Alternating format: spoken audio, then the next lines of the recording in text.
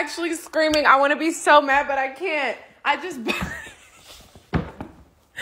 I just bought these $50 pillows from Pottery Barn. And Louis literally, hey, this is not a toy.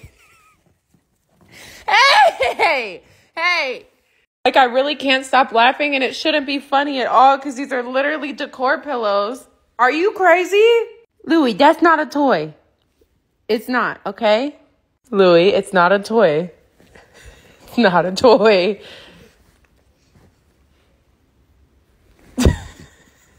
I can't even grab it. Hey! It's not a toy, Bubba. Y'all, I can't even put these damn pillows on the couch. He's literally a psycho.